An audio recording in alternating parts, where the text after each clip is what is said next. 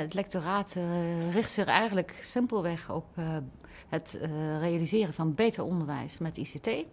En als het dan gaat om onderzoek, dan houden we ons dus vooral bezig met vragen als hoe kan onder onderwijs dan beter worden met behulp van ICT? En hoe kunnen we ook onderwijs meer flexibel en meer toekomstgericht vormgeven voor de digitale samenleving? De visie uh, is dat uh, het onderwijs van morgen is een leven lang gepersonaliseerd leren in een door ICT of technologie ondersteunde sociale leeromgeving.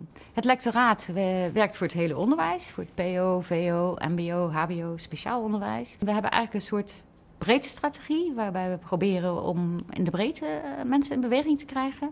Maar we hebben ook een dieptestrategie. En dat betekent dat we een onderzoekswerkplaats uh, hebben ingericht, waarbij scholen die echt in een paar jaar tijd flinke stappen willen zetten, die uh, slag, die innovatieve slag gaan maken.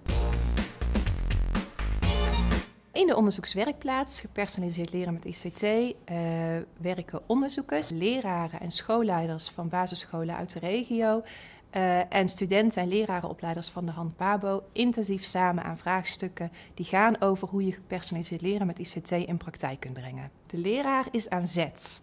Uh, we versterken het, uh, het, handelen van de leraar met wetenschappelijke kennis. en we bekijken tevens, of we onderzoeken ook, wat zijn handelen in de praktijk teweeg brengt. De onderzoekswerkplaats is ook voor het lectoraat interessant, omdat we doen ook overkoepelend onderzoek naar de interventies die op de scholen uh, plaatsvinden. En op basis van het overkoepelend onderzoek kunnen we iets zeggen over uh, effecten die optreden. Zodanig dat we ook kennis ontwikkelen op het gebied van gepersonaliseerd leren met ICT, die niet alleen maar bruikbaar is voor de scholen zelf, maar ook in andere contexten toegepast kan gaan worden. Wij zijn gestart met de onderzoekswerkplaats uh, wat we merkten in de praktijk dat de kinderen uh, niet gemotiveerd aan de slag gingen. Dat we als leerkrachten heel erg eh, geneigd waren om achterover te leunen. En die houding die zagen we ook wel terug bij de kinderen. En uh, ja, dat was de voornaamste reden dat we kinderen de zelfregie willen geven, gemotiveerde leerlingen willen zien.